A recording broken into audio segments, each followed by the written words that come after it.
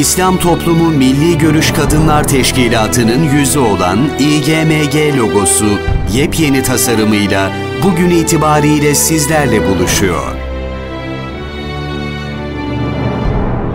Yeni logomuz, Kur'an-ı Kerim'de kadını temsil eden Nisa suresinin Nun harfini ifade ediyor. Aynı zamanda Nun'daki nokta başörtüsünü temsil ediyor. İGMG hilalinin yatay şekli Nuh'un gemisini simgeliyor, binen kazanır, inense kaybeder. Yeni logomuz İslam Toplumu Milli Görüş Kadınlar Teşkilatı'na ve tüm camiamıza hayırlı olsun.